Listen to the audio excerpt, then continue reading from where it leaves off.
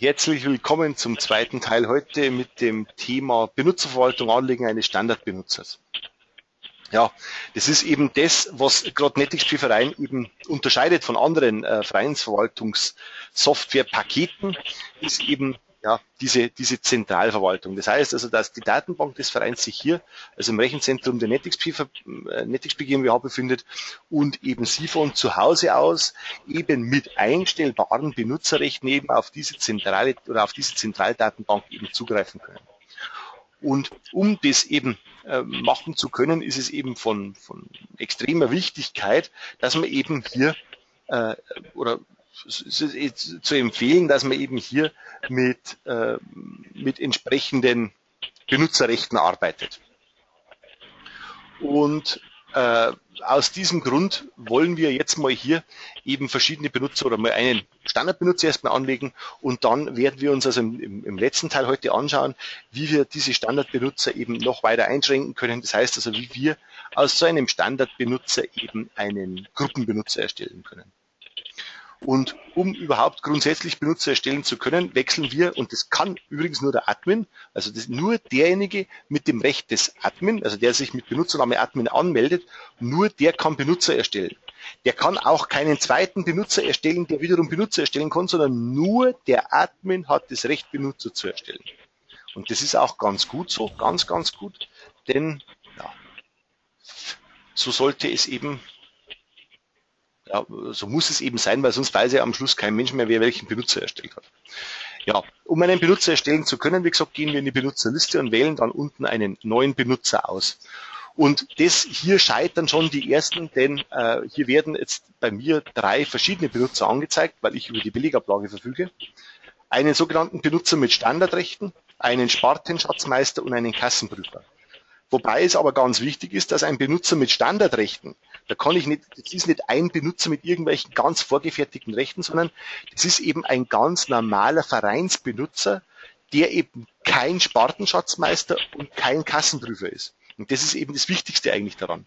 Das heißt, es könnte jetzt sein ein Schatzmeister, das könnte sein ein, ein Vorstand, das könnte sein ein, ein, ein Spart Tenleiter, das könnte sein ein, ein Schriftführer, also alles Mögliche, eben ein irgendein Standardrecht, aber er ist definitiv kein Spartenschatzmeister und er ist definitiv kein Kassenprüfer.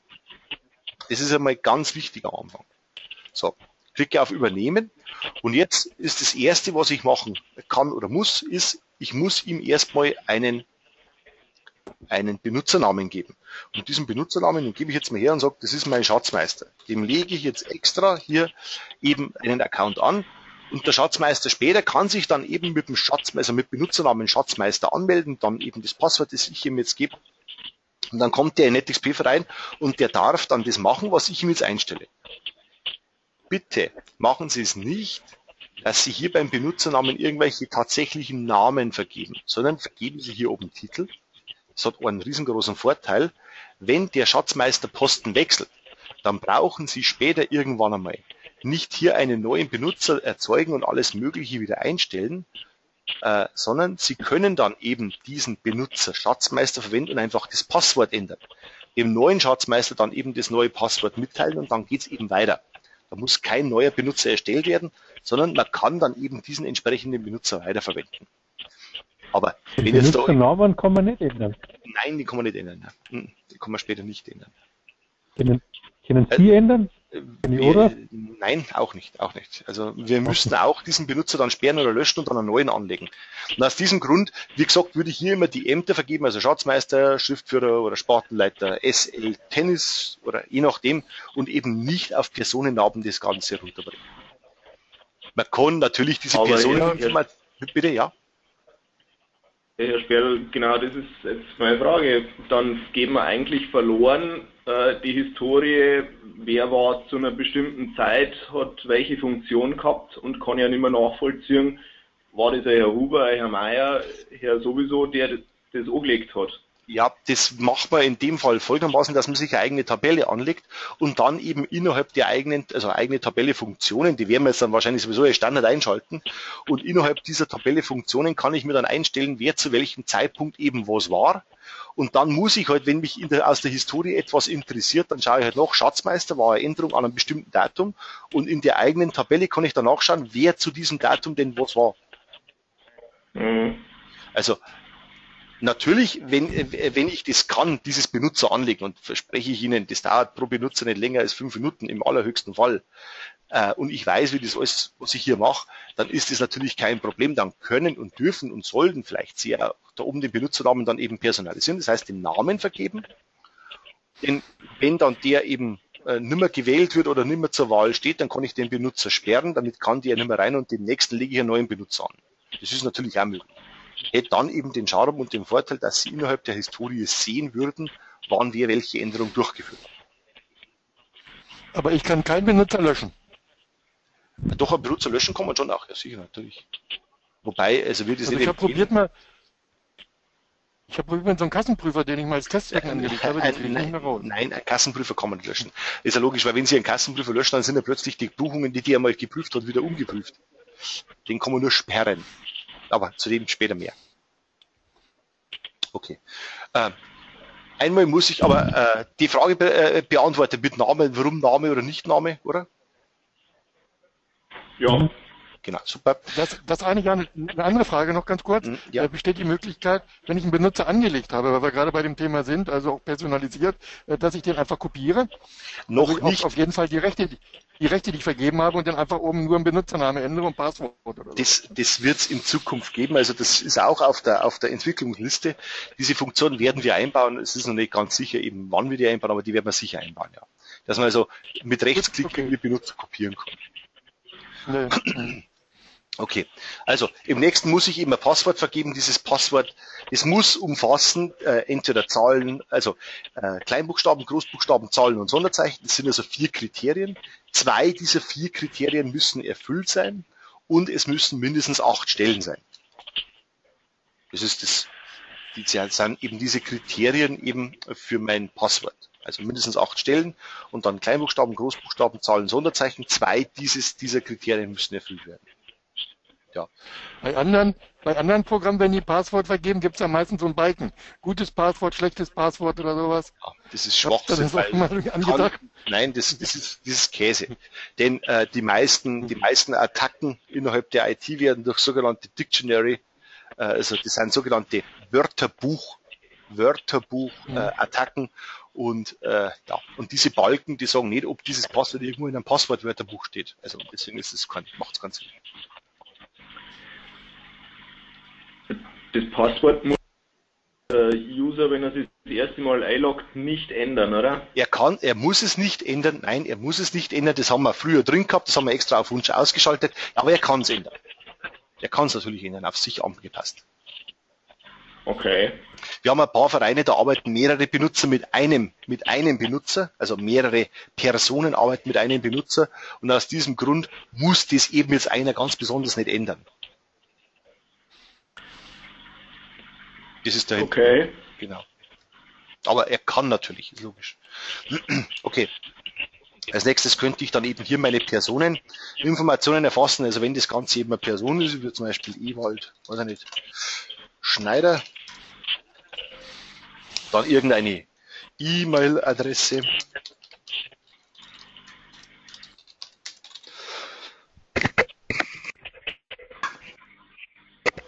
So, dann ähm, geht es weiter. Jetzt muss ich das Recht vergeben, also was darf der Benutzer? Ähm, darf der Benutzer auf die eigenen Dateien zugreifen, also auf eigene Dateien auf diesen Bereich, da muss ich immer so diesen Webspace-Benutzer geben. Darf er SMS versenden oder E-Mails versenden oder ja, äh, Serienbriefe erstellen? Dann ist er eben vom Recht her Kommunikator. Das ist klar, der Kommunikator ist ein Schriftführer, nichts anderes. Also wenn ein Schriftführer Rechte erstellen darf oder machen darf, dann, dann darf er eben, dann gebe ich ihm das Recht des Kommunikators. Der Vereinsverwalter, der darf also alle Vereinsverwaltung, äh, äh alle Vereinsbelange äh, darf der einsehen, der darf also alles. äh, innerhalb der, der Kassenverwaltung darf er auch Einzelüberweisungen tätigen. Aber ich zeige Ihnen das dann später sowieso im Einzelnen nochmal her und in der Kommunikation, also das heißt in der, in der Kombination kann sich dann jeder selber vorstellen. Dann habe ich noch den Kassier, nein, ist logisch, der darf also alles, was mit der Kasse zu tun hat. Der Mitgliederverwalter darf alles, was mit den Mitgliederverwaltern zu tun hat. Und schlussendlich gibt es noch ein sehr gefährliches Benutzerrecht, und zwar zusätzlich dann die Einschränkung auf nur lesender Zugriff. Und ich zeige Ihnen jetzt dann gleich mal, wo der Unterschied hier bei diesen Benutzerrechten ist. Und das machen wir jetzt gleich. Das heißt, ich wähle jetzt erst einmal das Benutzerrecht Webspace, klicke auf Speichern, muss dann eben das Passwort nochmal noch mal eingeben, das ich also vorher nicht vertippt habe, und dann auf OK. Und dann ist jetzt erstmal der Benutzer angelegt und ich melde mich jetzt mal innerhalb der Benutzerliste als dieser Benutzer an, um eben zu sehen, was darf jetzt jemand, der nur Webspace hat. Also nur das, nur das Recht Webspace.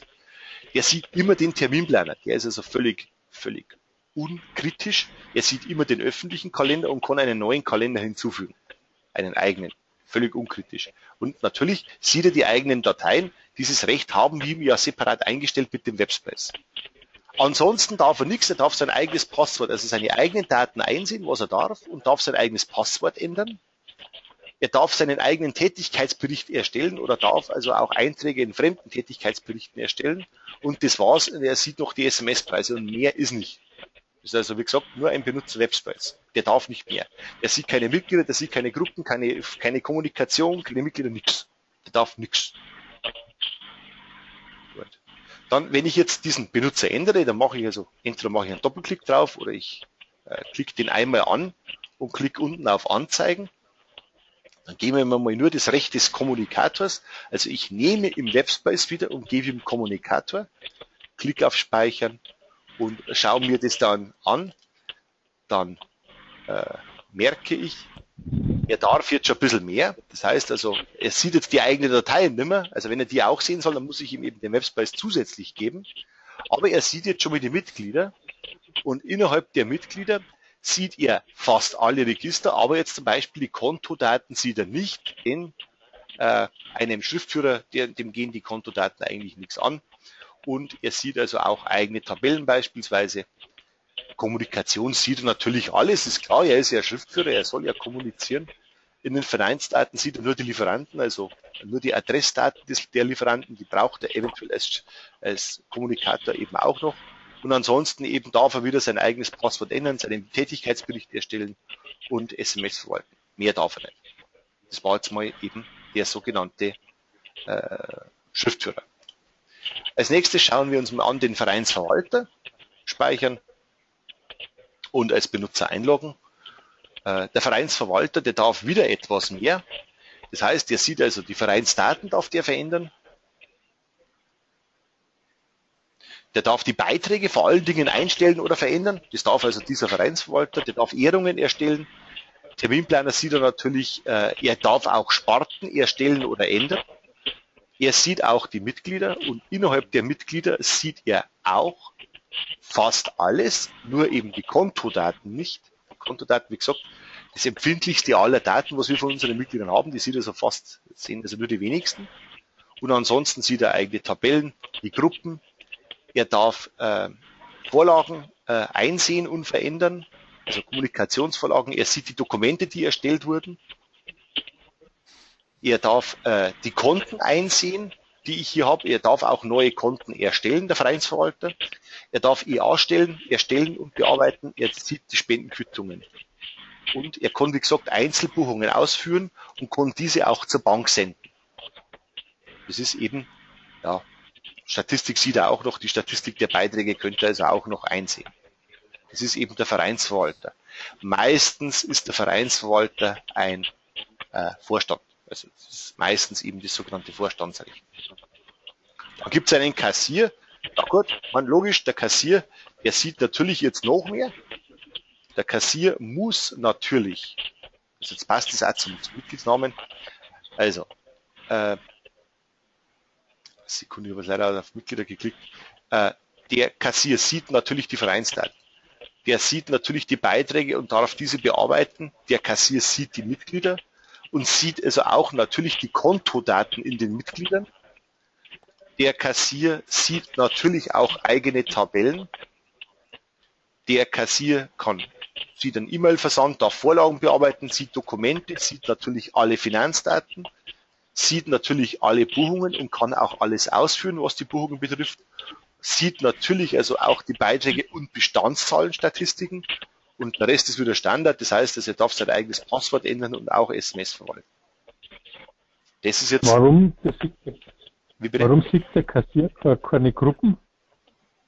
Zu dem kommen wir später noch. Eine Sekunde, zu dem kommen wir später noch. Das kann man dem Kassier separat einschalten, dass er nur Gruppen erstellen darf. Das war ja wichtig, ne? Ja, ja sicher natürlich, ja. Gut. Und jetzt. Und, und Beit Beiträge anlegen darf, kann der nicht, oder? Doch, oder könnte, das, das konnte er schon, ja, doch. Nee, so viel ich gesehen habe, eben nicht.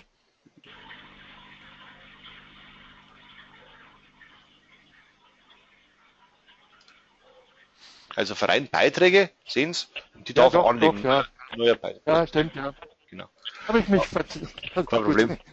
Ja, der Mitgliedsverwalter, der darf natürlich jetzt fast alles, was der Kassier auch darf, aber halt ein bisschen umgedreht, sage ich jetzt mal. Der Mitgliedsverwalter, der sieht natürlich jetzt noch mehr bei den, bei den Mitgliedern, also auch Gruppen und Übungsleiter. Er sieht äh, natürlich auch etwas, auch die Vorlagen darf er bearbeiten und natürlich E-Mails also ein E-Mail-Versand sieht er auch. Äh, er darf natürlich auch Serienbriefe erstellen, E-Mails darf er nicht versenden. Das wäre also ein ganz besonderes Ding. Statistik sieht er nur Bestandszahlen, denn hier sind seine Mitglieder versteckt. Er sieht aber keine Finanzdaten zum Beispiel und keine Buchungen. Der sieht halt das, was die Mitgliederbelange betrifft. Ja. Und das sind also jetzt eben diese ganzen Standardrechte gewesen.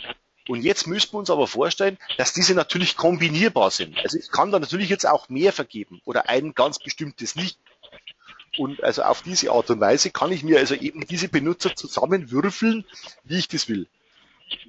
Also ich kann natürlich aus Kombinationen von verschiedenen Standardrechten bilden. Da bleibt es aber immer noch ein Standardbenutzer. So, und jetzt kann ich nur zusätzlich verschiedene Sachen einstellen. Ich kann jetzt halt eben einstellen, dass ein Benutzer Mitglieder löschen darf. Ich, da, ich kann einstellen, ob ein äh, bestimmtes Mitglied oder Entschuldigung, ob ein bestimmter Benutzer eben äh, Backups erstellen darf von, von jemandem. Also was heißt von jemandem, also vom Verein. Also darf er jetzt Backups erstellen oder nicht? Äh, ich kann einstellen, ob er, also Backups in der Datensicherung, die man mit dem sogenannten Backup-Client in NetXP-Verein erstellen kann. Und ich kann einstellen, ob er die sogenannten Führungszeugnisse und den Jugendschutz einsehen darf.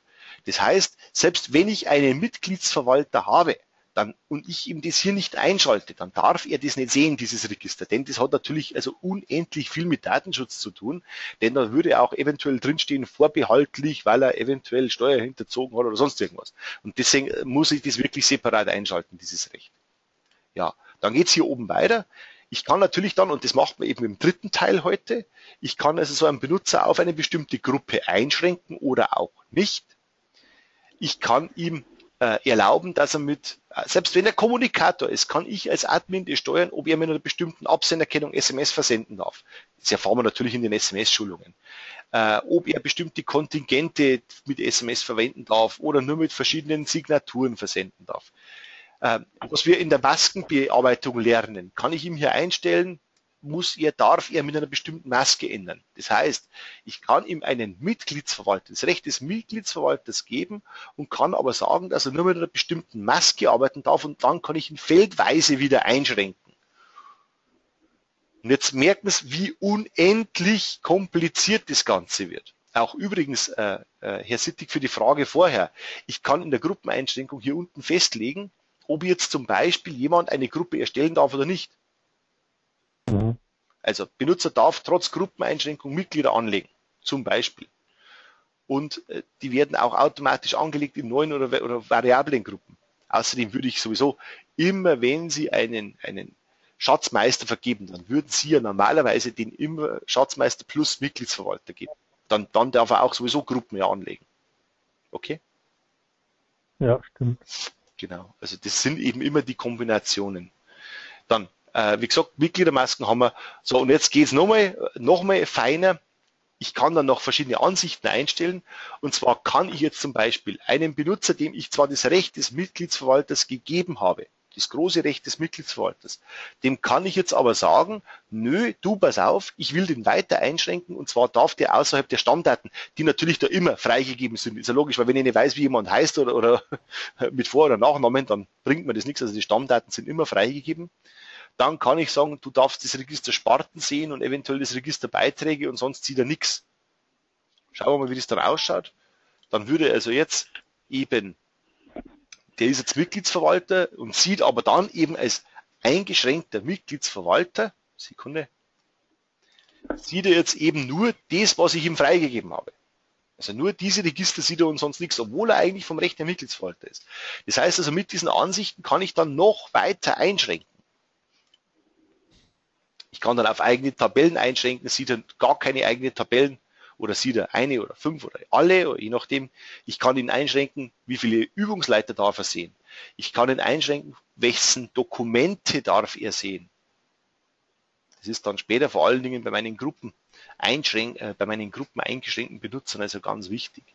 Und ich kann ihn einschränken, was wir also erst heute gemacht haben, ähm, welche Rechnungen. Das heißt also, wenn ich jetzt zum Beispiel zwei Spartenschatzmeister habe, oder zwei Schatzmeister oder einen Haupt- oder einen Unterschatzmeister, dann kann ich hier noch einstellen, darf denn der eine die Rechnungen des anderen sehen oder auch nicht. Oder wer darf von wem Rechnungen sehen und wer darf von wem nicht Rechnungen sehen. Also das kann ich also, wie gesagt, also auch hier unten noch einschränken. Und das führt dann eben dazu, dass ich hier äh, Milliarden und Billionen von Kombinationsmöglichkeiten habe. Das heißt, also ich kann praktisch ich konnte im Endeffekt äh, wirklich feldgenau alles einzeln einschränken. Bis zum einzelnen Feld runter, denn wenn ich mit dem Maskendesign arbeite, da kann ich ja nicht benötigte Felder ausschließen und ich konnte zu bestimmten Feldern sagen, die sind nicht schreibgeschützt. Und ja, das führt dann eben dazu, dass es also diese, diese Benutzerwaltung also hier tatsächlich also un, unglaublich unbeschränkt ist. Äh, Gibt es dazu noch Fragen, was, diese, was dieses Anlegen von sogenannten Standardbenutzern betrifft? Ja, äh, noch, ja. Äh, bei dem Vereinsverwalter, wie, da kann man ja den Bankenübertrag machen. Was muss ich da zusätzlich noch einrichten? Äh, wie meinen Sie zusätzlich noch einrichten? Dass er das machen darf, meinen Sie, oder wie? Äh, Sie haben ja vorher gesagt, der kann in, in den Banker übertragen hat. Aha. Er, er, sollte natürlich über einen eigenen Online-Banking-Zugang verfügen, damit er weiß, wer wann was zur Bank geschickt hat. Ja, klar, logisch. Okay. Wie gesagt, der Vereinsverwalter, das ist ein, ein anderes Wort für im Endeffekt erster Vorstand. Also, ja. Kommt natürlich immer, immer auf den Verein drauf und ist logisch. Das kann man so pauschal eigentlich nie sagen. Ja, weitere Fragen?